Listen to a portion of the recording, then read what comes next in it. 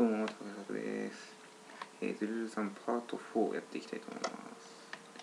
えー、バッドエンドの2つ目今日はやクリアしてみたいと思います。えーと、どっちどっちでもいいか。これで、このまま出ればもうすぐ、すぐですよ。これで終わりだと思います。俺は知恵を置いて一人で家に帰った。次の日俺は学校に行った。知恵はいなかった。次の日もその次の日もそのまた次の日も知恵はズルズルに食べられてしまったんだ。きっとそうに決まっている。俺はもう知恵に一生会えないのか。もう知恵の笑った顔が見れないのか。俺がもしあの時知恵を探していれば知恵を助けていれば。ごめん知恵バッドエンド消えた友達。パスワードあ。うん。ひと二つ目が「ほ」だったんで一つ目が「あ」これ1と2を順番に読むと「アホ」もうバカにしてますね。アホうん。も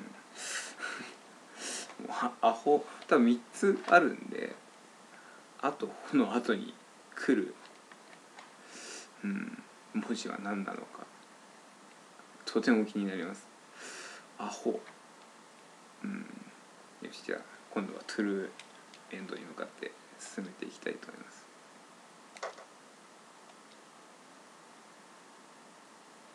友達は音楽室6の14の2のどこかにいます。なるほど。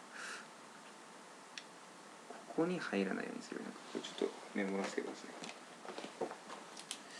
えー、6の14の2音楽室。にいるとここに行かないようにする。トゥルーエンドが多分。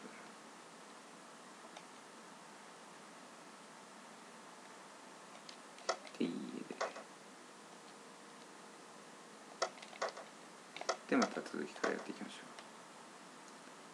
どんだけ合わなければいいのかな、まあ、とりあえず多分全部の扉を調べてで6の1と4の2と音楽室を避けながら行けば多分会えるんじゃないかな。でいきなり出てくるからびっくりするんだよこのゲーム。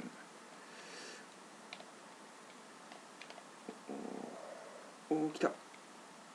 音はもう完璧にあここからか。もう自分がセーブしたとこを忘れてましたね今。検室に入る。ここからか、逆にここからの方が嬉しいな。知いるのか。どうしたんだよ。さっき次々見上げてたけど。あこれ読んだねそれか出てくる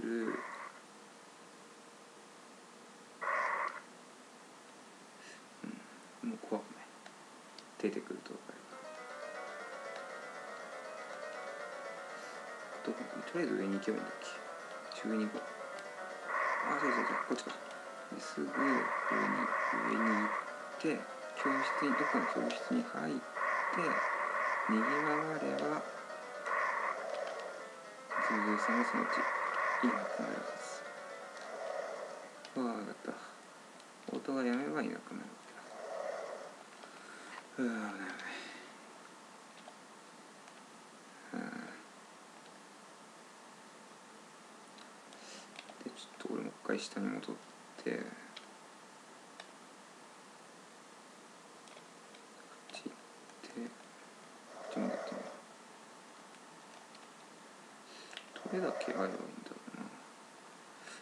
高いとか会えばおそらく何らかのフラグが立って。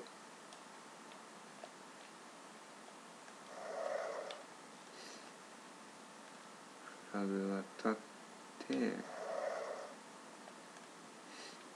しえちゃんを救出できるようになるはず。おお急に出てくんだよマジで。ここで負けるか。おお早い。早い。よこれがギリまで引きつけておきながらもう一回入ると一回セーブしようかな。いない。どこに消えたんだ。まあお化けだからあんま突っ込んでもしょうがないのかもしれない。音楽室に入っちゃうねここなんだっけこの音符のところが音楽室、ここに入る分には問題ないはず。おいやー超びっくりしたよマジで。おーそんなのあったー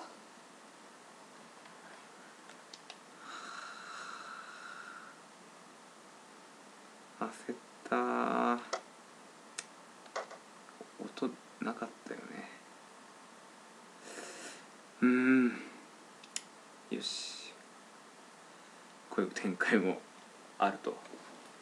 フリンチすぎだよ。どっからだっけ俺。えっ、とあそっか。上に上がればいいのか。音楽室に入ってないでここに入ったら急に出てきたんで違うか違うか。こっちにあ違うな。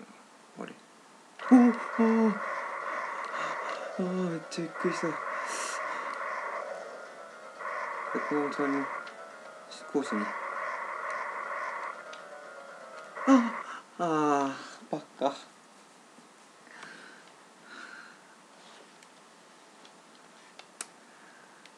よし。サクサクいきましょう。今回じゃ無理なんで多分もう一回あると思いますパート5かな。おお出てきた。ほらほらほらこっちに来やがれ。ほらほらもうそんなに怖くな。い。おお危ない。危ない。危ない。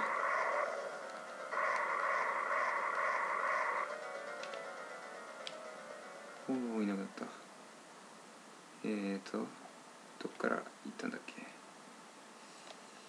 ここは見てここも見て誰だ？図書室に入ったとこでよかったんででまあこっちの校舎を調べようと思ったんだ。で6の1にあまたかよほんと鳥肌立つよ。くそ誰が。これ一回逃げ切ったらセーブしないと多分もったいないよね。もう次からはセーブしよう。もう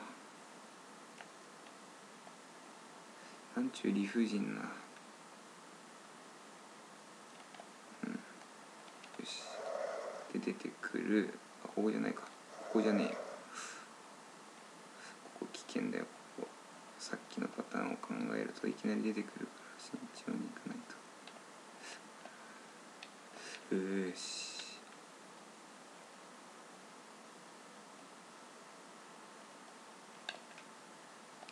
こっち調べたんだっけここがまだセーブしてなかったからあ出てこねえな今回出てこねえなまたいきなりわっと出てくるパターンだと思う。あもうほら。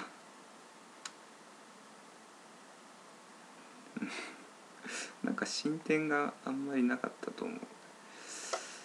あーではこの辺で一回切りたいと思います。また次回